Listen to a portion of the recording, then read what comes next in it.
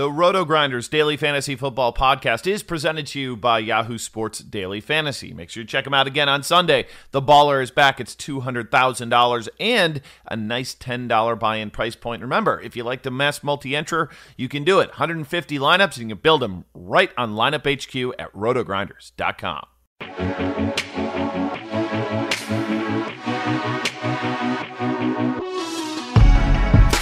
Welcome back to the Absolutely Epic Early Week Podcast, Week 11. Dean here. That's Dean 78904. If you want to get all tactical on me, uh, usual suspects. First of all, we got Travis Van Mangone, who's a gamer. He's giving it a go. He's not 100%. Uh, he was almost a late scratch, but uh, Travis, we appreciate it. You're going to power through. You're, you're, uh, you're not top of your game. Can we say that? Yeah, yeah, probably not the top of my game, not feeling the greatest, but we're gonna power through. And uh, you know, if at the end I feel like it, I'm just gonna foul myself out and hit the bench. You know what I mean? well, we hope that's not the case. You were saying before the before the show, you're gonna do a little Jordan uh, flu game magic. So maybe maybe you, you close strong. Who the hell knows? Yeah, I'm either gonna do the Jordan flu game or I'll just do the Porzingis man. Like the game was so bad, we just uh, we just sit that bad boy out.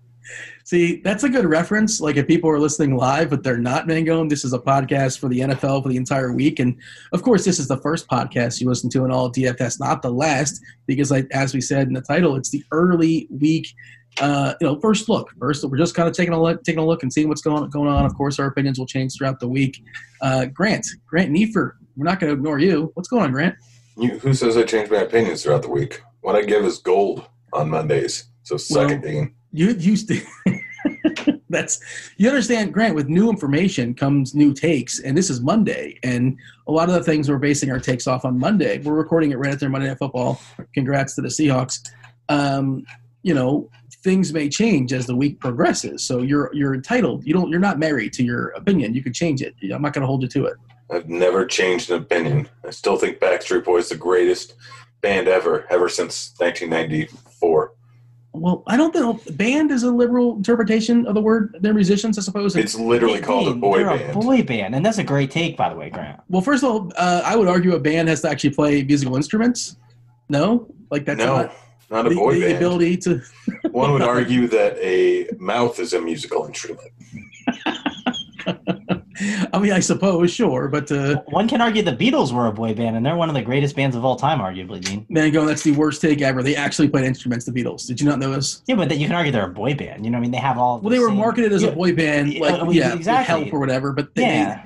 they became one of the most innovative bands of all time because they progressed over time. And the Backstreet Boys never really got out of. Why are we talking about the Backstreet Boys? And also, Because- if we're gonna say that we're gonna go down this this road, NSYNC is better than the Backstreet Boys. Like, come Oh on, no, that's not even you a are. conversation. That is ridiculous. It's a bad- 98 What- degrees was better than NSYNC. All right, Nick Lachey. I love Nick Lachey. I've met Nick Lachey. I like Nick Lachey too. I want to discuss this. See, I'm curious to hear what your take. What happened with Nick? Yeah, I think he's underrated. And He uh, was, no, he was, agree- uh, Go ahead. He had, he had that. Honestly, his album "What's Left of Me" was very inspiring and like thoughtful after Let's his let- breakup with uh, Jessica Simpson. Sure. Let, us save the let's We've save the Nick there. Lachey story for afterwards when I'm sitting on the bench. I want to learn more about Nick Lachey. I'm excited about this, but unfortunately, I don't want to say unfortunately, we're going to talk some football. Um, we do want to give a shout out, Grant, to, as far as our winner from last week. Uh, you know, of course, if you guys answer our question in the little uh, the chat area, you know, in the link on the Roto Grinders page, you have your chance of uh, getting a Roto Grinders T-shirt. And who's our winner this week, Grant? Uh, which one did we decide on? Well, it was a group decision, and uh, well, first of all, the topic was the weirdest concoction of food that you liked. It's just sort of weird for whatever reason you like it. Sell us on it, and you gave the hardest sales pitch for the winner being Hogger sixty seven, who uh, apparently his wife does not approve of what he eats, so he's kind of got to sneak away and do this on his own time. So when she's sleeping, he's hitting up the uh, the kitchen and putting together a concoction of uh, cream with butter, brown sugar, and oats, and he eats it raw. So um, yeah, he's like Method Man. They're eating that raw.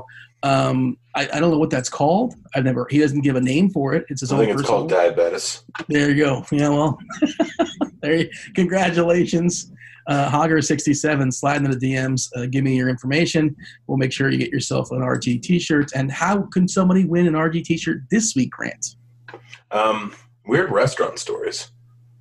I think that's what we decided. Was that Yeah. what we decided? We had a couple thrown out there, but that works. Sure, weird restaurant Yeah. stories. No, this last weekend I was out at a bar on Sunday, and some guy comes up to us and he's like, "Hey, are you using this chair?" Which the standard thought is, of course not. You get you can take it over to your table where you need an extra chair. Dude sits down, orders a beer and sandwich. that is such a boss power move. He's alpha. I respect that so much. Well, I'm like, I- I'm kind of angry because at least he didn't. If he would have said, "Hey, do you mind if I sit here?" That's a little Different bit conversation. Yeah, Well, you don't. You can't say no, can you? yeah. I mean, I wouldn't, but at least there would be. It would be kind of like, all right, well, we're not going to talk to you. We're having our own conversation. You know what you're getting yourself into when, when you answer the question.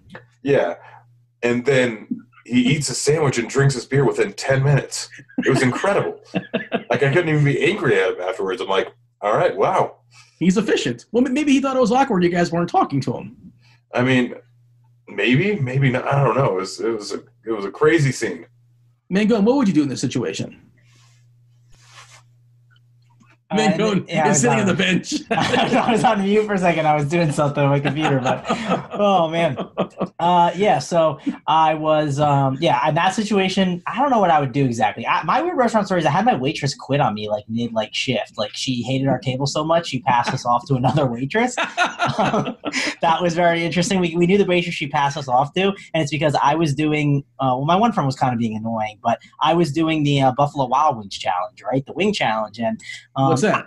Oh, you got to eat like twelve of the hottest wings in like three minutes or whatever. Oh, And. I was I was just looking for you know the uh, I was looking for the loopholes, right? I'm just trying to see like what the best scenario is. Like, do I just go right into the wing right away, or is there a way where I can just like rip all the meat off the wing first, get it all ready to go, and then eat all of it? Like, can I do that in a minute and then have two minutes to eat so like the uh, the spiciness doesn't bother me? I was just looking for loopholes left and right, and uh, the waitress basically said if I did it that way, that I'm not a man, and was trying to like you know make fun of me for it. And then I basically said I asked the manager if that was okay, and the uh, the manager said, "Yeah, if you want to do that, that's fine." And I just said, "Suck it," and then I ended up not doing the challenge in time. Three minutes and like ten seconds. Uh, Actually, Oh, it was like three minutes and like four seconds. But like I think what happened was the uh, I don't think the manager liked me enough, and like he was like, "Oh, there's some meat on those bones." Like I got all of it in my mouth in time, but I didn't like swallow it in time. It was some garbage. A lot of- you got to eat the grizzle too. Did you not eat the grizzle? Uh, no, I don't. I don't think I ate the. I have in fact done this challenge and won, but we should probably get into football. and also, it reminded me of Britt and doing the pizza challenge. Oh, Like, you, that needed, was you, needed, great. you needed those judges because Britt they graded on a curve and they gave them. Yeah, I didn't. I didn't get the. I didn't get the curve. It was. It was frustrating, but whatever. Well, don't tell your waitress to suck it. Oh, Yeah, that's probably not the best way to get uh, good service. Um, yeah, let's talk about this slate, boys. Also, I was a big loser last week. If you guys are not aware, um, yeah, I picked some losers, and you guys are gonna have some fun with me later on the show in tweets or consequences. And to be frank, I was a big loser in DFS as well too because I made some terrible pivots, and uh, uh, you know, Biff just steered me in the wrong direction, unfortunately. But you know what? It's DFS. All we care about is this week. It's a clean slate. Grant, how do we feel as far as the overview? Because as far as the slate, you know, obviously we should say we only talk about the main slate. The buys we don't care about. So Green Bay, we're not talking about you. The Giants, not talking about just Seattle, Tennessee as well. Uh, the Thursday night game, Pittsburgh, Cleveland don't care. Monday night, KC and uh, LA, the Chargers don't care. Sunday night, of course, they're on the sponsor of the podcast, Chicago, and the Rams are not on for their people. Well, that game's not too appealing either. But as far as the main slate, Grant, we got an 11 gamer. Uh, it's the haves and the have nots, right? It's pretty clear what the good games are and what the bad games are. Is that correct? I mean, yeah, pretty much. Like I, I don't know, some of the bad games have some interesting spots. Thinking I don't know what you refer to as the good games and the bad games. Well, I mean, okay, Mangone, let's play a game. Jets at Washington. Good game or bad game? I mean, game. listen, that's that's a bad game, Grant. if this is Willy Wonka and these games are eggs, what shoot are they going down? Um, I mean, this is pretty much the same as the Giants versus the Jets. What happened there? I rostered way too much Saquon Barkley, and now I am homeless. So, yes. Well, you got that one yard, 14 yards after contact. I didn't watch that game, but like, explain to me what 13 carries in one yard looks like. Um, getting anybody hit see this? three yards behind the line of scrimmage every single time. Oh my God. Yeah, it, it did not go well for your boy. But Grant, that's that's a bad game, right? I mean, I understand you can find value and you don't let just totals dictate your complete thought, but as of right now, like it's gross. The Jets and Washington, yes. I mean, I like the Jet side. Uh, not, not really. I mean, Okay. I- like we've Tell seen these ugly jet. games all year, and we've seen multiple times them turn into ridiculous games. I mean, they're they're, they're two putrid offenses. But, Side note: They're underdogs versus Washington. Yeah, which is hilarious. Imagine being an underdog versus Washington. I mean, the, you, you got to find value somewhere if you want to pay it for CMC and his um, 3x every single week. Well, there is some value uh, potentially because of Atlanta. Uh, we should mention this as well as far as the injuries. Austin Hooper is going to be out for several weeks. At least that's what we're seeing on Monday night. He's got an MCL, and Devonta Freeman, he's got a foot. So he's likely out as well. Uh, so Hooper and Freeman, Brian Hill looks like he might emerge as a value play. Uh, Breida got hurt Monday night, so kind of stay tuned on that one. And Ty Johnson, of course, he got concussed, uh, concussed last week. And, you know, J.D. McKissic, these aren't the sexiest of names, but they're kind of cheap. We live in a world of a salary cap, and those are the guys that like make things work for you. Um, Mangone, do those names excite you? No, th- those names don't excite me. This this this this is a really really. Brian nasty- Hill does. No, I mean yeah, Brian Hill sure is like a cheap uh, RB, but I mean why are we going out of order here? We're talking Brian Hill and are we talking J.D. McKissic? Is that the word I heard? We're doing the screenshot. This is the overview, and then we'll go to quarterbacks. Listen, uh, the overview is like you said. There's some good games. There's some bad games. It's pretty simple. You got Atlanta, Carolina, 54 Good. total. Just just go to the totals. Good just egg, look at those. It's very simple. Look at Houston, Baltimore, 49 total. Two really good quarterbacks in Watson and Jackson. I think that's a good game. We could definitely like that.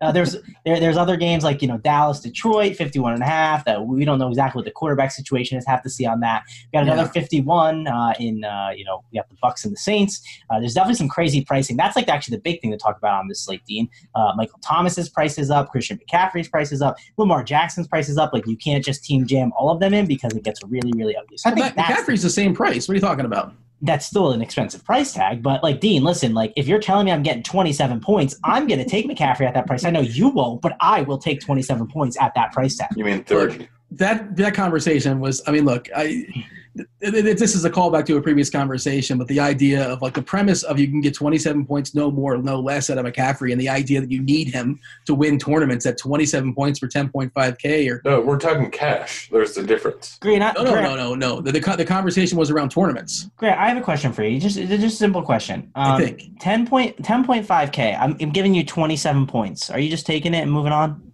In tournaments, no. In cash, Exa- that thank you me and grant are in agreement thank you Okay, but I'm just, I mean, I didn't know if it was cash or tournaments, but listen, Dean. you man don't go wanna got take it- served No, no, I didn't get served, Dean. You, you, you wouldn't take it at all in cash, too. I, you, that was your argument also. You wouldn't take it at all. no i'm saying it's You not a lock and clarified load that. it's the nature the nature of the slate it's what the Oh, slate yeah. dictates In And the last you- week you of slate, fans- I took McCaffrey for 27 points. Two more, no less. In an alternate universe, like Kamara uh, had a really big game and Barkley had a, a really big game. But you know, we send this out a thousand times, and they they beat McCaffrey a certain percentage. Of course, we only have the one result. It's you know it's a one game sample size, and it was an absolute disaster that blew up in my face. And I had some McCaffrey, but uh, I ended up spending down on Barkley as well too because I just you know delegated some funds and. Again, the premise of like you need to play a tournament guy for 10.5k for 27 fantasy points, no more no less, to me that's a flawed premise. And it's a hypothetical you can't do anyway so what's the point of having the conversation? It's interesting if nothing else but um, are we still doing good game bad game? Because these are pretty Let's move on to quarterback. i was enjoying the willy wonka reference um, so much for that. Uh, all right so we have good quarterbacks grant clearly good quarterbacks. Ljax is awesome. And as uh, mangone mentioned the other side in that game you know on the houston side you got watson as well but they're both a bit pricey jackson just run hit the floor is amazing because you know he's he was going to run for 70 yards. He might get in the box, and you're you're already basically halfway home. But he's super expensive depending on where you're shopping. He's 7.7k on DK. That's $800 more than the next dude. That's kind of pricey. Uh, 41 on Yahoo, and then let's see if you got to work your way down as far as Yahoo. Mango, as I'm talking to Grant, take a peek at, at Yahoo and see. Uh, give me some value plays over there as far as quarterback. But you know, Grant, are we prioritizing uh, Lamar, or are you going to kind of work your way down? No, I'm, I'm not playing Lamar. 7,700 seems like a ridiculous price tag. He's not.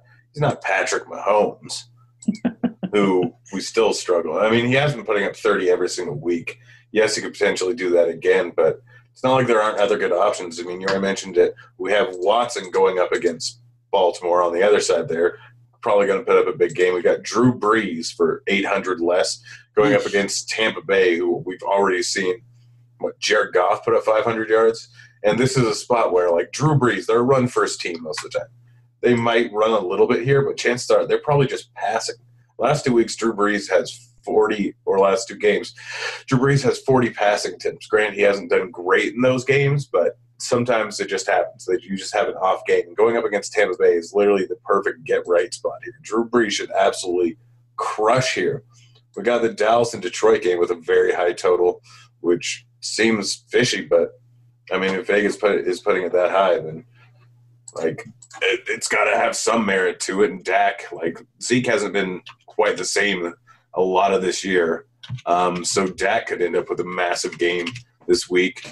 We have Jameis Winston. If you listen real closely, you can hear Mangone typing his blog, but continue. And that's Yeah. not me typing. That It is was me not me typing. typing. That's Grant typing. It his was me typing because the line for Dallas and Detroit just does not make sense to me, and I was double checking it. We don't know because Stafford's questionable, right? So what, what do we have as far as the line? Yeah, I'm it's off Detroit plus board. four. Yeah. It's Detroit plus.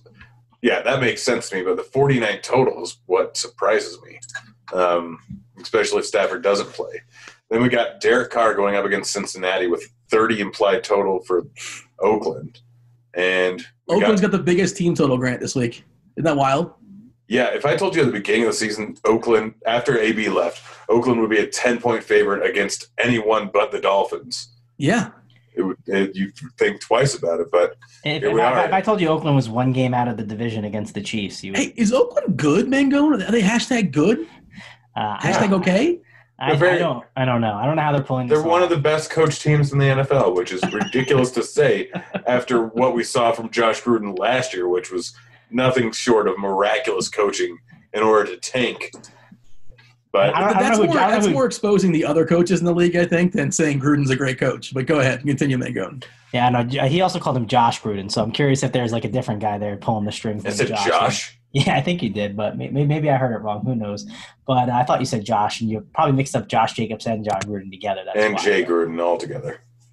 But uh, yeah, no. Uh, Dean asked for like the uh, Wahoo Yahoo player, right? The the play that's gonna just win you all the money. It's Kyler Murray, right? Uh, if I told you twenty five dollars, you can buy uh, Gardner Minshew, Kyler Murray, Andy Dalton, or Jared Goff. I mean, it's it's a pretty easy. Well, just Mangone, Gar- Gardner Minshew is not playing this week, is he? I know he's not. Neither is Andy Dalton. I'm assuming. That's why I'm just saying they're twenty five dollars. It's just like I'm trying to explain. Like Kyler Murray's twenty five dollars, and two guys who got benched are twenty five dollars. Like this is ridiculous. So, um, yeah, Kyler Murray's probably the guy. But if if there's like just an immense amount of value, you're probably just uh, heading over to Lamar Jackson at forty one dollars. But uh, you have to have that value kind of come into play. Yeah. Uh, condolences to Grant, by the way. He's a big Minshew guy, but you know, BDN is back. Uh, I'm a I'm a big big dick Nick guy. well. If you had to choose, you know, Sophie's choice. I'd, I'd choose the one with the larger third leg as opposed to the larger two quads. If they're falling off a cliff, you'd save who first, and what? uh, What? What? I have uh, more things to grab onto with Nick. Yes, that's that was that's what I was, that's what I was setting you up for. Uh, thanks to Yahoo for sponsoring the podcast. We much appreciate that.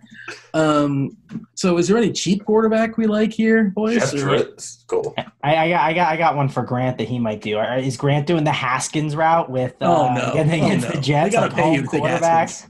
No, Oh, I'm, I'm not okay. doing it, but it's a question. I'm just asking, you know. It is a question. It's a legit question. I mean, you look at the slate and with every single viable quarterback more and more priced up, and we have Haskins sitting there at 4,800. Do we think about it? And when we think about it, we vomit and say no because No, Haskins is just horrible. Is it's as legit a question as like I'm Ron Burgundy. like that's Yeah. not as legit. That, that's not a legit. terrible. I mean, would we rather go Haskins or would we rather go Ryan Finley? Yeah, well, that's that's not even the Ryan I thought you were going to say. I mean, you get Fitzmagic against uh, you know the revenge spot against the Bills at home too, Grant. He's concussed, by the way. He may or may not play. We'll see as far as, but yeah. Oh, so we can play Josh Rosen for 4,600? Oh, gosh, QB is ugly. Yeah, and this is Guys, well, what no, about Big Dig Nick? There's eight billion people in the world. They can't find thirty competent people to throw footballs. It's insane. Well, we can. They just keep getting injured. No, this is this is this is what we do. We don't pay down a quarterback this week. Listen, you're just stuck paying up, and you probably finagle your way up to a guy like Lamar Jackson. That's probably what just happens because unless you're playing on Yahoo, you know, you play Kyler Murray, you just look at the site and you try and see if there's one cheap value play. But like a site like DraftKings, uh, the cheapest quarterback I would actually consider playing. Maybe it's Kyle Allen at 5,300, but that's pretty gross. And then, like, if I'm not going with Kyle Allen, I guess it's like Derek Carr at 6.1K, which uh, I don't know if I even want to do that. Why, why does Yahoo hate Kyler Murray? Uh, I get this matchup is tough against San Fran. They priced him down a little bit, but he was 20 bucks for a while early in the year. Now he's at 25 against San Fran. Again, not the most appealing of matchups, but that does seem like if he makes things work. Hey, Grant, your boy Josh Allen is only thirty dollars on Yahoo. Is that appealing enough, or is this Lock going him to in. be? Lock him in against the Dolphins. We've already seen him once before. But uh, no, the more interesting guy is like, is this right? Is this happening? Is he really 5,300? Oh no, who are you talking about? Kyle Allen against Yeah. Atlanta?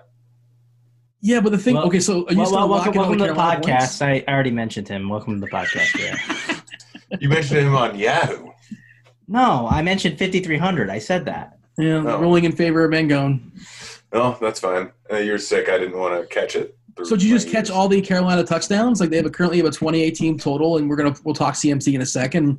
You just play Allen and CMC and lock in all the Carolina touchdowns against you know a terrible Atlanta defense Yeah, that well, has no I mean, offensive play, points anymore. play Samuel or play DJ Moore. Both of them are. Two, we'll get to wide receiver later, but Kyle Allen, like, I know he hasn't put up big points totals since his first week, Yeah, um, but like, still, 5,300 versus Atlanta any week is just silly for any quarterback. I mean, Fitzpatrick, the greatest quarterback in the league, granted, or Rosen, his backup against Atlanta, I'd still think about it. Like they're that bad on the defensive end. And yes, Drew Brees just had a rough outing. It can happen to anyone at any given time, but most weeks, any competent offense can put up big numbers against them. So Kyle Allen at 5,300 is super cheap. And then what do we think Nick Foles is going to do in this offense? We saw Minshew, who granted pl- has played well. Is he as good of a quarterback as I don't Foles? want any. No, what's the what, what's the, what's the point? What's my incentive to play Foles against Indy? Uh, Indy's a team that's going to want to keep the ball on the ground, most likely run the clock. Uh, I like the fact that it's in a dome. I'll give you that. I don't really like the pieces he has to throw the ball to. He's not necessarily too cheap. I don't know, man. Going, are you in on Foles? My first thought is, nah. Yeah, I, I think I'm going to pass on uh, BDN season this week. Uh, I'll wait and see what happens. Well, uh, yeah, and uh, you know, Grant does bring an interesting point as far as Allen, and that's probably like depending on later on the week as far as how uh, how much value does or does not open up. Um, but it, it is an interesting way, for like a cash game perspective, just to lock in all those Carolina touchdowns if you're going to pair him with CMC. And, and if you get like a receiving touchdown from CMC, that's just the yeah, that'll just yeah, it's beautiful, obviously. But uh, his ceiling is not necessarily been reached. But within the low salary cap, and he's fairly cheap. Then go anything else as far as uh, quarterbacks? Or you want to talk about CMC and other running backs? No, I think I'm down to uh, talk about guys that are going to get me 27 points at 10.5K and be okay with it. Yeah, remember back in the day we used to do three X. That's not three X, and that's like less than a 150 scale if you're doing that math. Just kind of throwing it out there. All good, Dean. We don't need that crap. It- it- also, people do the whole point per dollar thing in baseball, and you know how that is. That's Well, that's dumbest I mean thing that's ever. dumb. You can't. That's for pitchers. You can kind of sort of somewhat do it. For hitters, it's ridiculous. But yeah, that's yeah. I mean, it's all it's entirely arbitrary based on what the minimum salary is. Like over on Yahoo, a ten dollar guy is almost certainly going to be the highest point per dollar play compared to a forty dollar Christian McCaffrey. No, what matters is when your players put up points compared to how the other players are on the slate. Last week, Christian McCaffrey was a very, very safe play, and there were a lot of shaky Of course, he was a plays safe all play. around. Nobody's there were saying he wasn't a safe play. But there play. were a lot of shaky plays, so there was a lot of security in him. okay. Um, Yeah, I mean he was a fine play. Like nobody's ever saying CMC is not a good play. It's just a matter of how much he costs the rest of your lineup. Um, so this week, Mango, we're just going to plug in CMC and move on. Yeah, I mean, he's definitely a good idea to plug in. I mean, what other running backs are you jumping for joy about? Like, I don't love a lot Dalvin of running Cook. backs here. Yeah, Dalvin Cook's fine against Denver, 8.9K. I don't mind him. He, he's in play. He's in the conversation. I, I think he's a, a decent play. It's McCaffrey, it's Dalvin Cook, and then after Dalvin Cook, it's like, okay, Josh Jacobs at 6.9. I'm pretty intrigued against the Bengals, especially with that team total. That's uh, Those are probably the three guys in the top end range that I'm looking at, but uh, I'm not that interested in Zeke. Uh, I don't think he's that that good this season. Leonard Fournette, I mean, I'd rather just buy him on FanDuel. I think he had a pretty dumb price tag over there. Um, Kamara, no thanks. Uh, Le'Veon Bell, questionable. Like, you know, he's just been dealing with the injuries all season long. He hasn't been that good, and I'm not buying it on the Jets because, Dean, what do I say? When you buy, uh, you know, when you buy the running back, you're buying the offensive line too, and uh, I'm not buying that Jets offensive line. That's uh, disgusting. I love you say that like it's like this great eye-opening moment. Oh wow, that's right. No one, but no one one talks about it, Dean. Nobody talks about it. Listen, if Nobody ever talked. I I talked about the offensive line for Dallas when uh, when Smith was out, you know, months ago on this very People podcast. talk about offensive lines all the time. It's one of the as most important things in sports. Yeah, but Nobody not as much. Everyone, it's not as much. Uh, if you listen to all the podcasts, people are not talking about how offensive line play is really important. People are talking about Michael Thomas is the best receiver in the NFL, but if you change Michael Thomas with pretty much any top end receiver, it's going to be the same production. It's because the Saints situation. I don't think that's is be true. Better. I, I totally agree with that 100%. I mean, I don't think running like running backs, receivers, like not that they don't matter, but um, what matters most is the line and you know having the opportunity. That's what's the most important thing. Grant? All right. Well, in any case, um, I'll still play Le'Veon Bell. He's going up against a team in Washington that's not very good, not very good on the defensive end, and yet they're somehow favorites. I still don't understand that. But in any case, like Washington's giving up a ridiculous amount of targets to opposing running backs so far this season, so that plays out perfectly for Bell. Like seven two. The only reason I don't want to play him is because Josh Jacobs is sitting there going up against Cincinnati at six point nine K, which is way, way too way too small of a price tag for him in this matchup. He's been playing great all season long outside of like a two week stretch when everyone played him against KC in Minnesota. But he's like he's got the touchdown equity. He's got the game script with the 29 point team total. They're going to run him constantly here. They're going to be ahead in all likelihood. Josh Jacobs is probably the best play, and everyone's going to be on him. Dalvin Cook is the interesting one because Dalvin Cook's almost having as good of a season as CMC is. Like he's consistently every single week in around like the mid twenties range. I mean, CMC is better, but like he's got a decent matchup here going up against Denver that is drastically worse versus or is worse versus the run in my opinion, worse versus opposing running backs.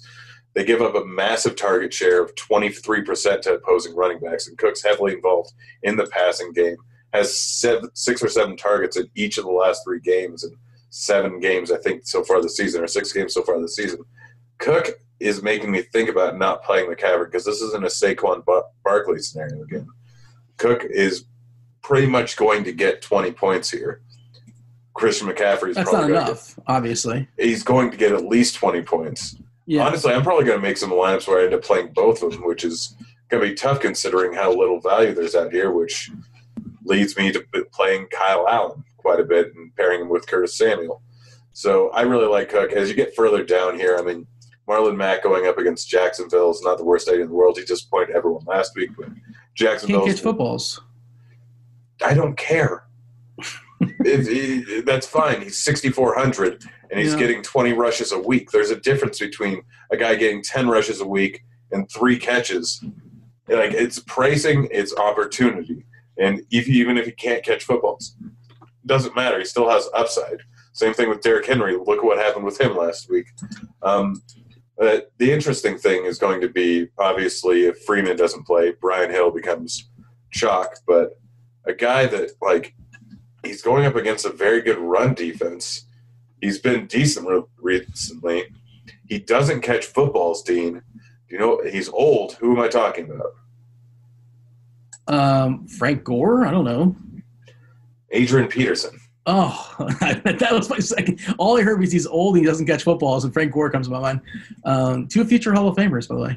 Good for them. Yeah, two Uh, first ballot Hall of Famers. Yeah. Uh, look, Peterson probably continues to get volume. Uh, not a sexy play, obviously. Isn't, isn't the rookie? Isn't the rookie back, guys? Yeah, oh, that's right. Yeah, back. Guice might be. A, is it yeah, Guice just season? double checked it. Guice is back and Thompson will probably back. Yeah, that brings up the point. Guice. four seven. I mean, It- why would they run him to the ground like right away though? Because Like it's in- Washington. He's a rookie, and who cares? Guice, Guice, baby. He's coming back from injuries. Wait, we're just gonna let that go. Uh, but I mean, like it's still Washington. He's a perfect pivot off of Brian Hill. Like I guess we have to wait and see what news they have to say about him. But he can get involved in the passing game. New York, while being a very good team versus a run, is still a team that gives up a heavy dose of targets to opposing running backs. Like if Guice is going to just immediately be into the offense and they're already committed to running the ball because they're finally figuring out how to tank. Like we could potentially see him in for a pretty big game. Um, it looks really likely again that both Hooper is almost definitely out like two to four weeks, and Freeman it looks like his foot is kind of beat up So And why they, why is Atlanta going to push him out there? Why not? Let's see what's that what Brian Hill has. So I think there's a pretty good chance both those uh, both Hooper and Freeman are out. Um, by the way, side note, uh, Lattimore may be out, which is kind of a segue as far as our receivers because uh, you know Tampa Bay, Tampa Bay versus New Orleans. Who's Lattimore going to cover? Possibly nobody. Uh, we'll talk about receivers in a second. Mango, and you have anybody else as far as running backs? And I, I had this one little thought, like, you know, it's probably stupid, but like the thing with Cook is like Minnesota, what do they really have to do against Denver to get this win? Like, of course, goofy things happen. We saw Atlanta beat New Orleans last week. Nobody really projected that, and their defense was awesome. Like they were buzzing. They had like a bunch of sacks against that New Orleans line in New Orleans, no less. Um, I'm gonna put chalk that up to like a one week goofy thing, but maybe I'm wrong. Uh, I think they got something special on the Bourbon Street streets the night before. the, the Saints did you're saying, or Atlanta did? Atlanta didn't. their defense went out, and apparently they were still. I don't know. I don't know what makes you good at football. I mean, Yeah. The only thing I know is Adderall. I mean, Apparently. I've had I've had a hurricane in New Orleans, and that's not going to help you play football any better. I'll tell you that much. I Um, mean, probably not. yeah, maybe for a play or two, and then you're like, all right, I'm this, I'm done, I'm tapped out. Um, Mango, and got anybody else as far as running backs? Because how about J.D. McKissic? I mentioned him in passing. Like he might be the guy in Detroit. He had 70% snaps last week. Um, you know, good receiver of the ball, and who knows what's going to happen with Stafford. But this is one of the, the, the quote unquote cheapies that we have to keep our eye on throughout the week. Yeah, you got to keep your eye on him, but uh, it's like I'm not really taking a stand on any of these guys right now. Like, if you force me to pick, I'd take Brian Hill right now. That's the guy I would go with, but um, I'll wait till Friday when we got to get the injury reports, and then from there I'll listen to what's going on, and then Sunday morning I'll get news and I'll track the news and figure out who's getting most of the carries. That's probably what you want to be doing. You know, stay close to Twitter. You know, So get the- why why listen to this podcast? You nothing is helpful on the night. Is that what I'm hearing? Well, I'm just talking about with these cheap running backs. Like this situation, it's one that isn't like that clear right now. Like we can talk about other things that are more clear, but this isn't clear right now. Like we, we need to be really close to the news. Like what's important is to tell the people stay close on the Detroit news. Like look at that. Make sure you're up to date on it. You know, do Twitter searches on all the players and see what's going on with the situations. That's more important information for me to tell you than to say which guy I like the most, in my opinion. Kamara traditionally not a great, you know, the running back matchup versus Tampa is not that appealing, but Tampa much more vulnerable to the pass, and Kamara is a running back, but he's almost probably more dangerous when it comes to uh, catching the ball out of the backfield. So I think he's certainly in play as well too, and he is fairly cheap. I prefer the game in the dome, but like we said, as far as the totals in Vegas, that game is uh, the highest in the board. Uh, from what I see, at 50 and a half as far as that total, and New Orleans, of course, with a big team total just below, I think, uh, Oakland right now. Which again, that's uh, the Oakland. Oakland Raiders are the biggest team total on the board, which is just awesome. Good for them. Uh, oh, I'm seeing San Francisco, then New Orleans, uh, for what it's worth. 29 for San Fran, 28 for uh, for the Saints. And you know, tonight San Fran that may change, obviously, uh, Grant, because San Fran we don't know if Kittle's going to be back. They lost Sanders as well too.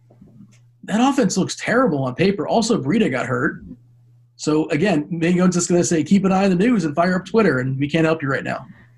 No, no, Dean. I'm not. I'm not going to say that. But there are certain plays that like you really don't know what to say about it. Like No, you're right. No, I'm, I'm just being a jerk, but I'm not being serious at the same time. We don't know. There's we can't give an answer in San Fran on Monday night. Who knows? I just think paying attention to news is so important, and people don't don't care to do it at 11:30 when we get so much important news. So I'd rather tell people that that's important. I agree. Grant, Dude, I, I was under the assumption that every single person who plays fantasy football pays attention to news. Okay. Yeah, well, that's definitely not true because Damien Williams was not 100% owned in cash games last week, so that's not true. I mean, that's because he wasn't very good prior to last week. Oh, the trickle down effect of that Williams news really destroyed my labs, but I'm, I don't want to talk about it. It did not work out for me. Your boy is broke. Um, Grant, any more running backs, or you want to talk receivers? Devin Singletary going up against Miami. Okay. Like it didn't work out great last week, but he still got seven targets in the passing game. Like it was game script. They were behind pretty much the entire game, if I remember correctly. It was tight. The game was tight the whole way, pretty much. I mean, but they were behind. They had to throw for a significant portion of the game to try and catch up. But this week they're going up against Miami, who just keeps crushing opponents. Am I right? They're two in and the 0, 2 and 0, 2 and 0. They, Like they Penn have they have they have uh they have two more wins in November than the New England Patriots. So there you go. they have more wins than Saquon Barkley had yards last week. That is Sure. true. Are we playing Kalen Ballage? Uh, I don't. I mean, he had a lot of touches. Not, not all touches The are answer is no. equal. That was a joke. Let's move on to wide receiver. His touches are created poorly. No, well, his ability is created poorly. Talk about receivers, Grant. I mean, we got Michael Thomas sitting there at nine nine. Oh, can't do it. He's going to get 15 targets. He's going to get 10 catches. Yeah, He's going to get 100 yards. He has a shot for two to three touchdowns. Sure. Tournaments, it's not the worst idea in the world, depending on what running back value opens up. But that's a tough price tag to pay. I mean, last three weeks he's averaging 28 points. Like it's right in the CMC range. Like depending on what value opens up, it could be real interesting. Yeah, Um, go ahead. I'm sorry. I, I I didn't mean to say it right away and just besmirch it. That, that's basically the whole concept. Is like uh, stay tuned to the news. If like there's a ton of value that opens up, then you can get those two studs. But continue, Grant. I apologize for interrupting. then uh, first time it didn't work out, hooray! Um, Godwin or Evans, one of them's probably going to go off. Like this is a high scoring game here. They're five point five point underdogs. Like either one of them, and I guess we didn't mention Ronald Jones after his big week this last week going up against New Orleans, but we both think that it's going to be more of a passing game. And, but Jones at 5.2K, we didn't really mention. He's an all right play. But Godwin or Evans, one of them is probably going to go off here. They're both priced significantly cheaper than Michael Thomas. So if you're looking for some upside, it's not a terrible idea.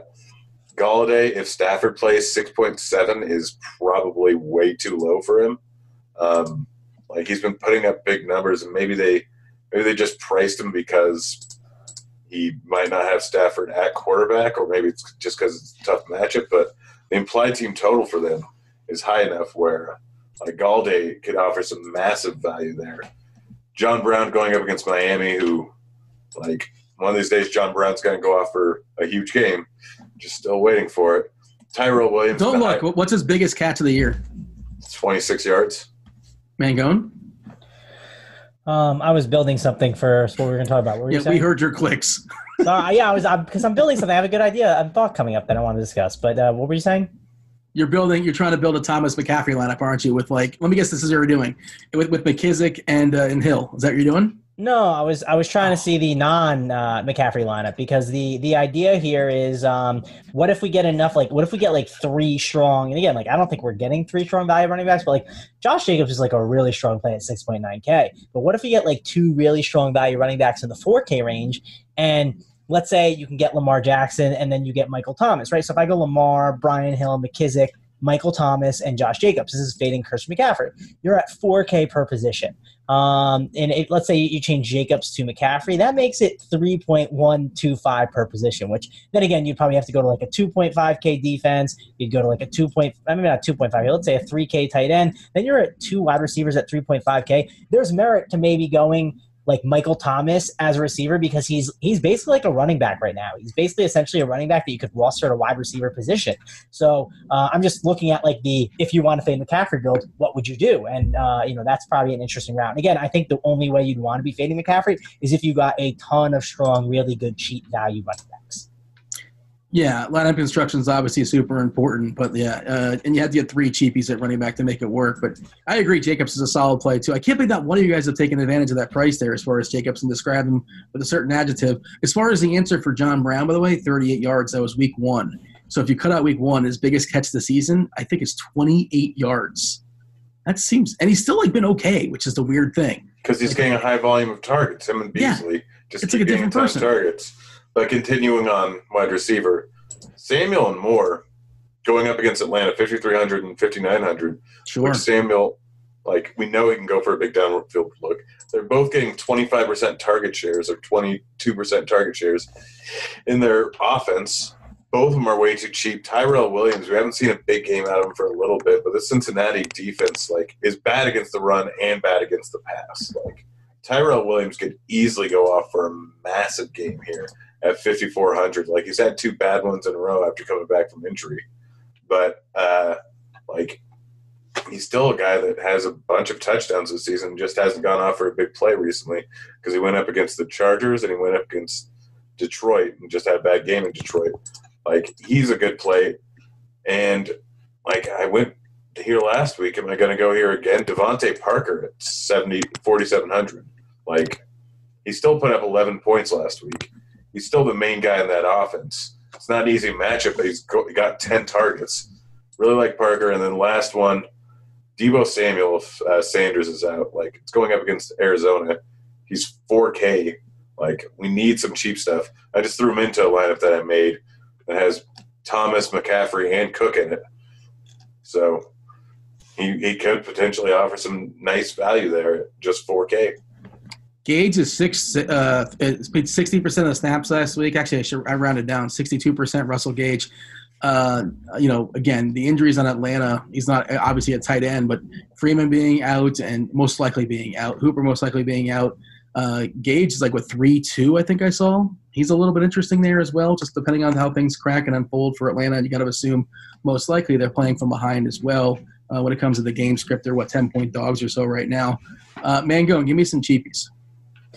Yeah, um, the wide receiver range, like the cheapies, I guess you're just looking at like more like the five K ish range. Those are maybe the guys I would end up going towards, like Christian Kirk again, Tyrell Williams, Samuel, Boyd. Um, kind of living in that range seems like the route to go. Uh, Sanu is kind of interesting with the Patriots. Uh, if you look at the game against Baltimore, he ended up getting 10 targets there. Um, again, like the, the game before that, though, uh, he had only uh, five targets. Right, sorry, he had 14 targets and then five targets. So, uh, you know, he's getting used enough. Uh, but again, I don't know if it's definitely what I want to do. Grant brought up Parker. That's a guy that you can obviously consider because of the volume. Uh, there's not this like guy that just sticks out. That's like an incredible play, and uh, you know that Niners news could be pretty big against Arizona. The only problem is playing the you know roulette game of which Niners receiver to go to. Well, it's if it's somebody somebody up there standing, but like yeah, well on Monday night, obviously we just were recording Sunday night. Uh, didn't Samuel have a big game here, Mango? And I believe he did, right?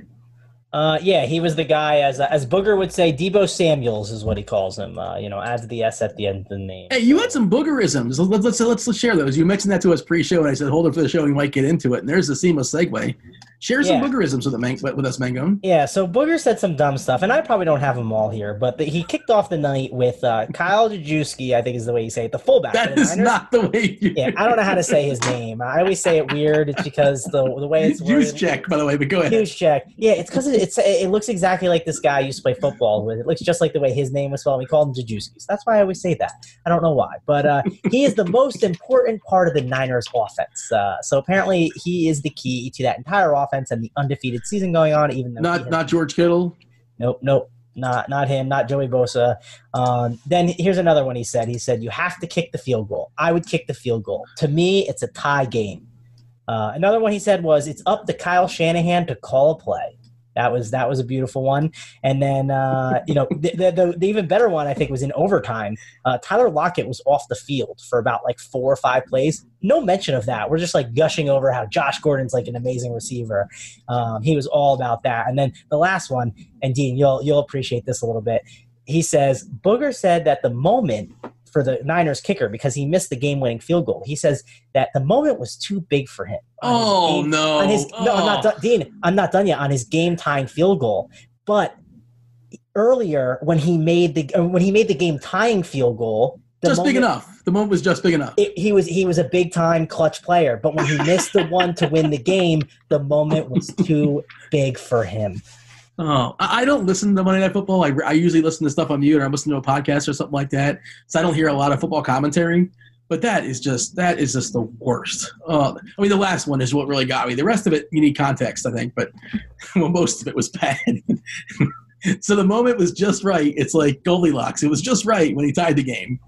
But uh, you know, he, he's not capable. What is this? I, I I use my leg and I kick a football. I don't. Yeah. How does this work? But by the way, he, he, he, he, he tied the game on the last play of the game to bring it to overtime, right? Like, uh, Ridiculous. if, if you're talking about a pressure situation, I don't that- want to talk it. about Booger anymore. I don't like that guy. I'm just so tilted that he said that is just the dumbest, most like it's just like playing results based thinking. Uh, well, clearly, you know, he, the moment was too big for him. Obviously, Grant, get, get us away from Booger. What do you want to talk about?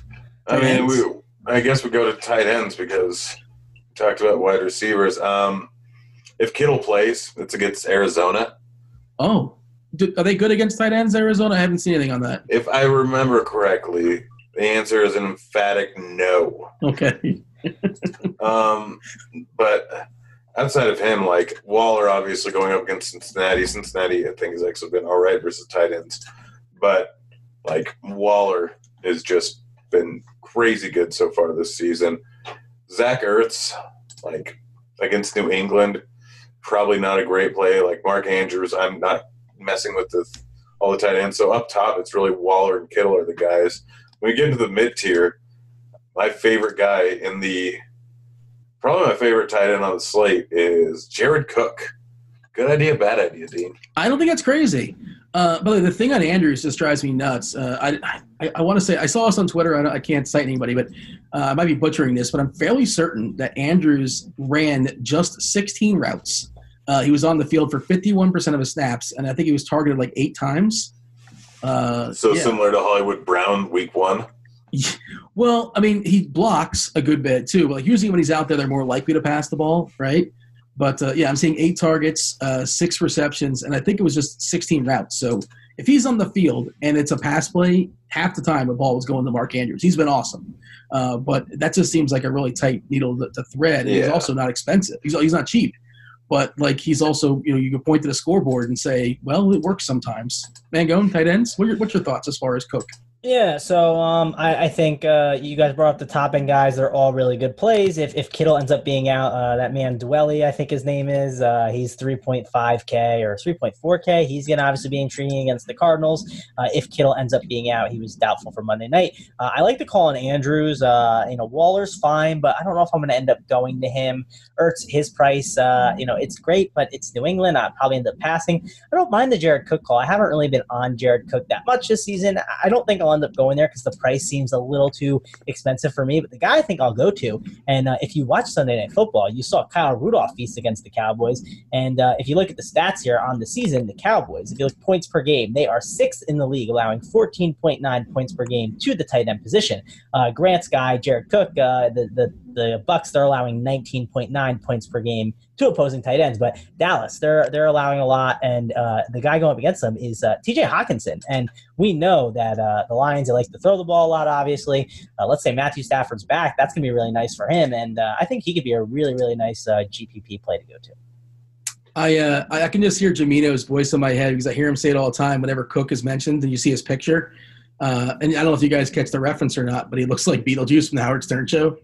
so, you guys aware of Beetlejuice or no? Not the one where you say his name three times. That's a different Beetlejuice. You guys Don't say it again. Do, don't say his name again.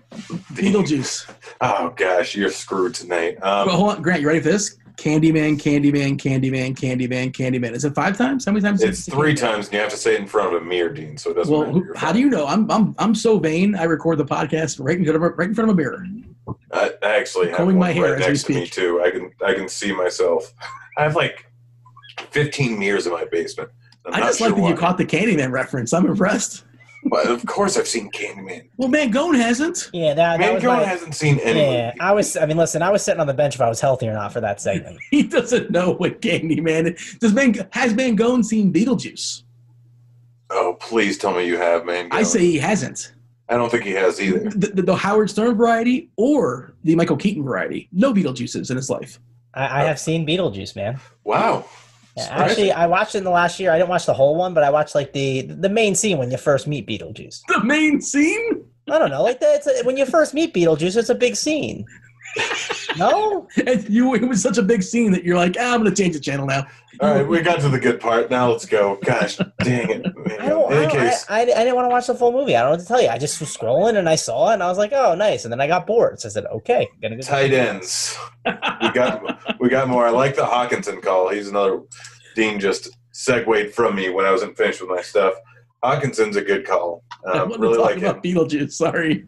Uh, Greg Olsen going up against Atlanta. Fantastic play at 3,900. Atlanta has not been great versus opposing tight ends, offering a very large target share there.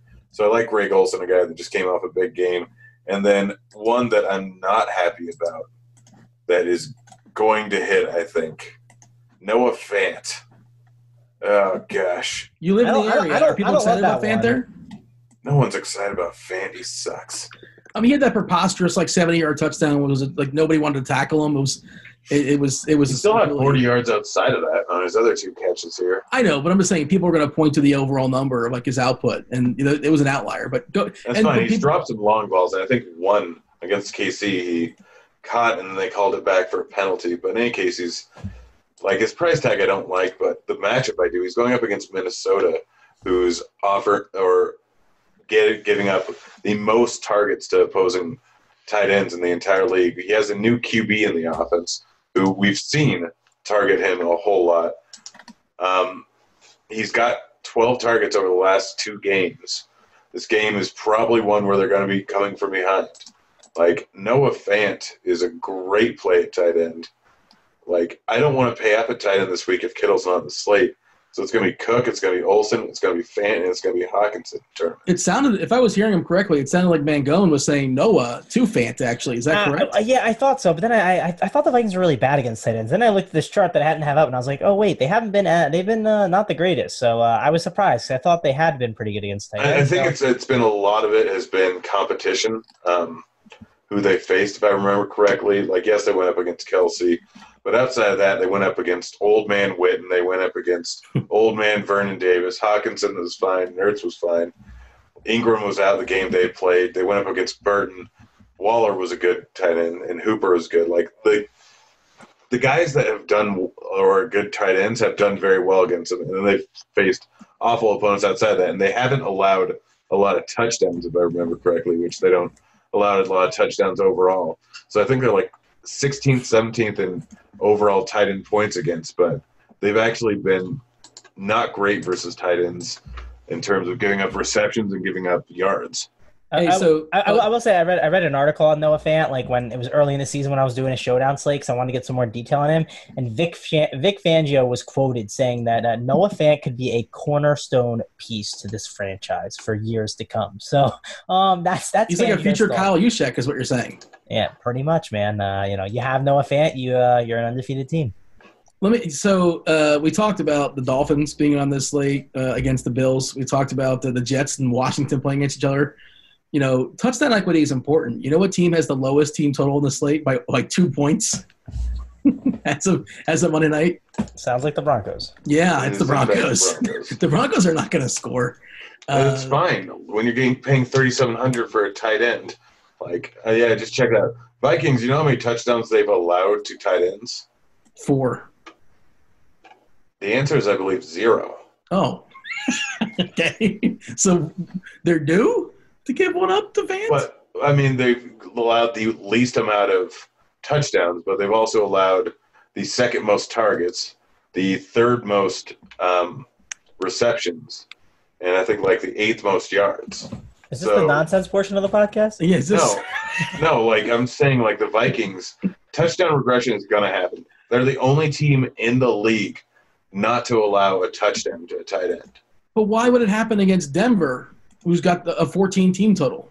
I'm not saying it's going to happen against Denver. I'm saying it very easily could. I'm saying there's massive positive regression. I need to look into more of their scheming in the red zone, but I don't think there's anything that would suggest that they shouldn't allow a tight end. I think the week Waller went against them, he went for like 13 receptions or 12 receptions for 90 or, or 100 yards. I, I got to check this out. Yeah, I do. remember- Actually, that was earlier in the season in the dome, I believe. He actually 134 yards. Dean, Yeah. Dina, Dina, some people have said on Twitter, it's math, man. You just wouldn't understand it, okay? Yeah, you idiot. I don't get the reference, but like I can see. Is that something Cardi would say, or Uh, it's kind of something he said to Graham. Yeah. I he didn't say that exactly, but I'm, I'm kind of uh, adding. And then he took back his his so-called comment. Grant, you wouldn't understand. A running back can't average 5.3 yards a carry. Looking you're back not like at a, it, you're not like a, a former accountant or anything. You don't know what Yeah. calculators are. I, I, was, I wasn't trained to be a statistician in college. I say all this, and I was kind of sort of I'm, I'm like I was on the fence of the conversation, but I understood what, what he was saying at the same time. Yeah, I don't. have- You know, of course, I was on the fence because why am I going to take a stand? I was just waiting for McCaffrey to get injured and him to take the W. Yeah, that's a, such a jerk move if that happens. Well, the other thing is, if like if he would have like extended, you know, his arms and scored a touchdown, people would be like, "Oh, suck it, Cardi! He got you know 36 points based off that one goofy play in the last second, which is like you can't predict that situation happening."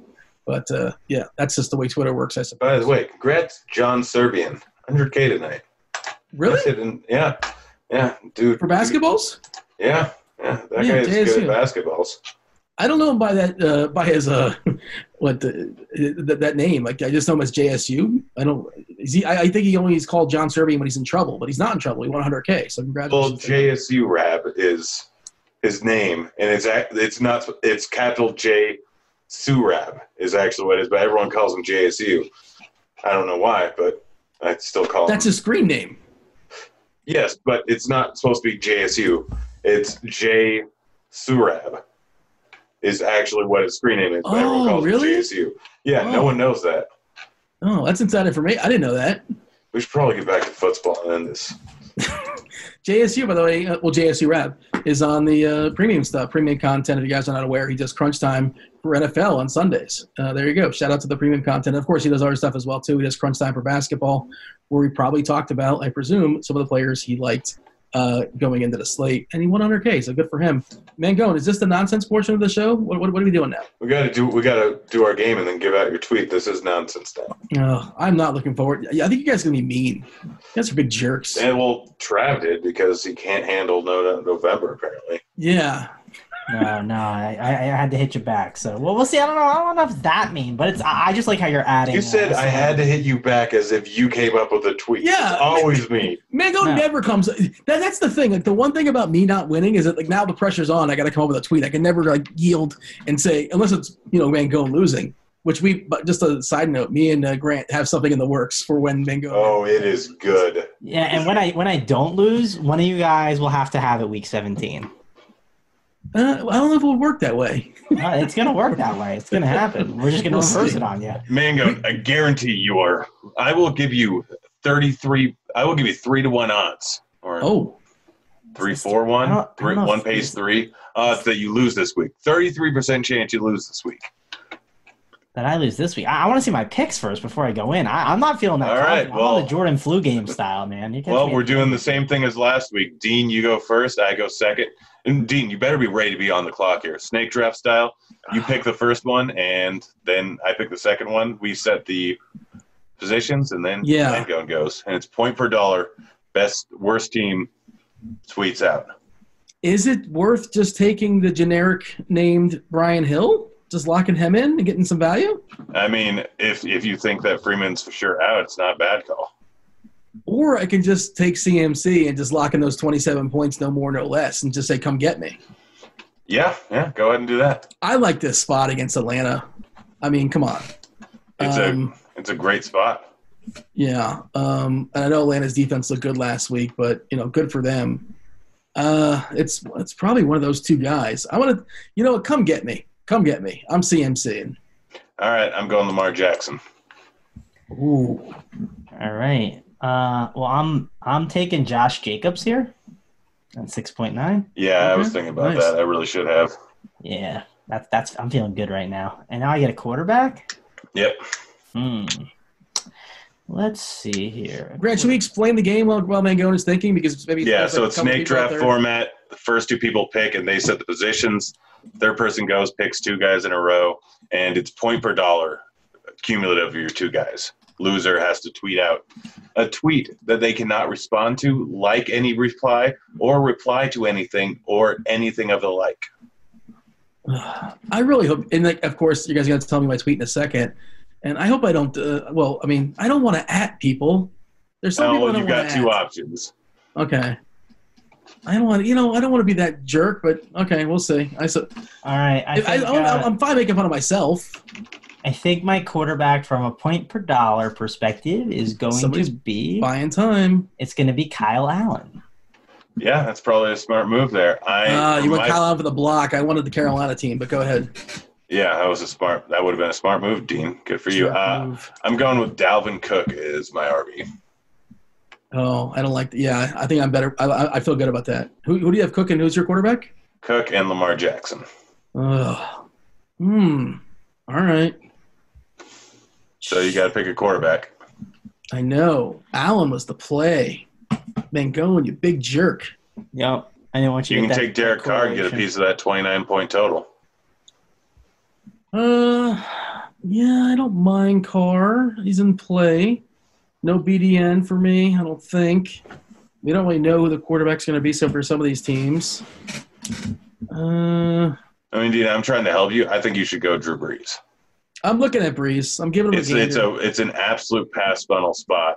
They're great against the running back. So anything that's done by Kamara is probably in the receiving game. They're bad against tight ends. So Drew Brees now has more than one option, and Michael Thomas is probably going to go ham.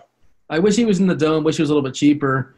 Uh, I, I, was told uh, that there's a quarterback controversy. They're not, not going to replace him with Bridgewater. If they It's do, not- then I've lost all faith in John or Sean Payton. No, it's not going to happen. I'm just making that up. Um, yeah, I, I, again, I wish he was a tick cheaper, I suppose. But uh, I'm sorry, my strategy's been derailed by Mango, and I'm throwing off a little bit. Indianapolis, we don't really know who's going to be the qu- eh, We don't want any part of that anyway. That's nonsense. you do this every single week. Well, at the same time, where I'm also kind of like giving it, you know, advice on the slate, sort of, maybe. Dean, we're the analysts. We're the ones actually giving advice on the slate. All you have to do is listen to our picks. I'm the quote unquote, I'm the host. Don't put me in a box. I can analyze things too, in a pinch. Um, yeah, I would take Watson, but that Baltimore secondary is better now. Like it's it's healthier and looks better, and the price is kind of priced up a little too much for my liking. I like him for tournaments, but I, I hate taking your. You know, you're definitely you're, derailing me on purpose. But I think I'm taking Brees. That's what we're going I've, with. I've literally I've tried to help you multiple times, and every single time you go against me, you lose because of it. I don't think you're uh, fully authentic because we're opponents. You wouldn't tell your opponent how to defeat you. Dean, how badly do I want Trav to lose just so we can do the thing we have planned? That's a good point. This is, this is a handicap match right now. Listen, I'm still okay with it. I'm gonna take you boys down. Two on one. Uh, you All better right. have somebody come out of the locker room to help you. Would, but would, would it would it be the first time someone was two on one of me with a steel chair, Dean? That's a callback to our pre-show conversation that nobody gets. All right, you ready for your tweet? no. You want me to read it though? I have, I have two different ones for you. Oh well, fire away. I, I, I haven't heard. This is these are cold, so go ahead. All right, hey at Rosie O'Donnell, big oh. fan for many many years. I don't normally do this, but my prom is coming up next weekend, and I was wondering if you'd do me the No. pleasure of going with me. I know it's a long shot, but I've been in love with you since I was 14. no, I'm not. Okay, well that's you're gonna have to take the other then. All right, the other I mean. I don't want to. Because then I feel like I'm making fun of her. I, I don't want to make fun of anybody. Oh, but maybe you're a huge Rosie fan. It's, Yeah, okay, I'm not having a prom, prom coming Mango, and. I'm not 18. How does She doesn't Rosie know know? She knows. She sees an almanac. She doesn't know your age. She knows anybody that has the almanac has seen Back to the Future and they're not 18 years old. Well, maybe you're a substitute teacher that needs a prom date. Maybe you just are big bar. The substitute big, teachers don't go to prom. they might chaperone. So I mean, you're chaperoning. Chaperones don't need dates. Oh, come on. Every chaperone needs a date. No one's going to prom alone, man. Everyone's got to get get. get Oh my date. god! Uh, because the other one better or worse? oh, it's had the plumber over this weekend, and he found four pans of glitter in my shower drain. Apparently, my weekend job of dancing up on stage at insert strip club name here on amateur night really ended up costing me. Oh well, I guess my gl- stage name of glitter was apt, and James Harden, you owe me twenty five dollars still. And you have to add James Harden. oh, that's better. Like I'd prefer to do that one. Yeah, that's fine. You- They're you I don't want to. I don't want to make fun of Rosie O'Donnell. Like I don't. want The thing I like about the James Harden one is it's got like a DFS, uh, you know, vibe to it. So people Yeah. will definitely be liking that thing all day. These are both good, by the way. They're both good submissions. I, I like. I like the premise of both of them. Uh, I, I I can appreciate them for the art they are, but I I can't appreciate them because no, I'm putting in a I'm putting a predicament I'm not uh, particularly happy about. Um. Oh. Uh, do I get to name of the strip club? Um, What, I what did you come up with? Did you have anything or no? I mean, Just- Deja. Vu is the obvious one. It's a big Oh. chain, but Jiggles um, is the first thing that came to mind for me. But okay, go ahead. if you want to actually, add the Jiggles strip club, is, is that free. actually the name of one? Oh, everything's got to have a name. I I just got a flashback to a friend of mine. I either that he was at a strip club that was named Jiggles, or he had a lap dance from a dancer named Jiggles. I don't recall which was the case, but nonetheless, uh, we can figure that out off air, I suppose. I'm But, also um, looking up names of um, of strip clubs in Nashville. There's Huh. Deja Vu. There's Pure Gold's Crazy Horse. Sure. Well, There's Menages, which probably Yeah. refers to a menage. sure. I mean, But- James Harden hits a lot of threes. Um, Yeah, So, yeah, I'm trying to think what the. Well, like Crazy Horse is the name of a club too, I believe. Crazy Horse is the name of a casino. It's the name of a club, and it's the name of a strip club. It's a versatile company. That crazy. It's all under one umbrella. Is it? Wow, impressive. No, I don't think so. I just, I think it's just everybody uses it for whatever purpose they see fit. I don't know. Um, but yeah, I'm pretty sure it's like a live music. You can see a Crazy Horse here in Nashville.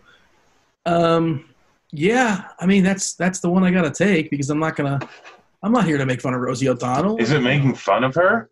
It's kind of mocking her, yeah, and like you- yeah, it's kind of mocking. You're kind of We, we could have put Lena Dunham instead.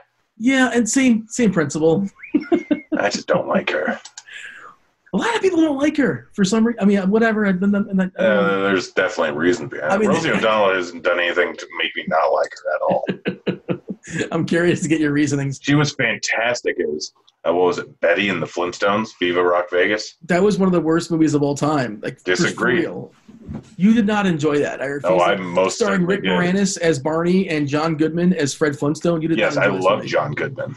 I like John Goodman too, but even John Goodman himself will tell you that was a terrible, terrible movie. I don't think he will because he doesn't want to besmirch the 25% Rotten Toma- Tomatoes rating. Twenty five percent is that the audience score or is that the uh, is that the critic score? That's the critic score. The audience score is 21%. Whoa, the audience thought it was worse than the critics. that was a terrible movie. Uh, I was so excited when they're like, "Oh wow, are they gonna make a Flintstones live action?" Awful. I loved Um, it. I loved it. So I'm just stalling, but yeah, we're gonna go with the James Harden one, I suppose. Uh, Grant, tell the people again if they stuck around this long, we appreciate it. Uh, we warn you this is all nonsense here at the end, but we want somebody to win a T-shirt. How are they gonna win a T-shirt this week? Weirdest restaurant stories. I mean, you can have getting kicked out for vomiting, some random guy joining your table under false pretenses, someone refusing to leave your table, apparently pissing off a waitress that she quits in mid mid mid service. Um, if you're Travis Mango, he didn't actually make her quit, did he? I don't even know. Uh, she didn't quit, but she uh, yeah she passed the table off. Yeah, so Well, you're apparently- trying all these loopholes, man. Mango, you can't buy wings. You, I mean, you can't afford twelve bucks worth of wings. Seriously. I mean, it's it's about trying to beat the challenge, Dean. I'm just trying to. You gotta respect the hustle, man. Come on. and I in fact beat the challenge. So second Mango. It doesn't surprise me. Hey, Yeah. I got fired as a waiter. You want to know why I got fired? In an email, I was described as too sassy. Sassy. Somebody Oh my called me too sassy. All right, that's a good one to end on. Yeah, I was a smartass. I mean, I was just having fun and just kind of goofing around. But like, don't call me a smartass. Call me other things, but sassy, I am not. I You know are sassy, sir. No, I am. I am. I'm a lot of things. You're a firecracker. You are sassy. I'm a firecracker before I'm sassy. Uh, Mango, you have a final thought as far as this slate? Oh man, let's get out of here. All right, well, Mango's got to go to sleep. He was supposed to get a nap. He didn't get one earlier, so he's cranky. I'm, s- I'm just happy, Mango, and you made it to the end of the pod. I appreciate that. Thank you for powering through. I'm sure the listeners appreciate it as well. Grant's about to kill over as well because uh, this, we're recording this like, what, 1 o'clock in the morning, depending on where you're. Uh, I'm, I'm, It's- it's, it's it's, 2 a.m. midnight right now. It's mango and it's like two in the morning. yeah, I middled it. We're doing time zones. Yeah, I, people don't care about time You're zones. right? well. You're at one in the morning. yeah, that's what I said. I We're all in different time zones. Neat. Grant, final thought? I've got no. I, I guess Noah Fant's going for 20, 20 yards. 20, 20 DK points. All right, well, I look forward to Dave- talking to Dave, real James quick, Harden tomorrow. Re- yeah, real quick, it's 1 a.m. Your, your shift starting soon here? Yeah, tell James Harden I said hello. I, I gotta Jiggles is covering for me. We gotta get out of here. I hope you all enjoy our nonsense. I hope you all understand this is a first look podcast. That's why we don't have to get too far into the numbers. This is not the last podcast you listen to in DFS. It's the first first podcast you listen to in DFS. He's Mango and he's Grant. Thank you to Yahoo for sponsoring the show. I'm Dean. We're out of here. Holler.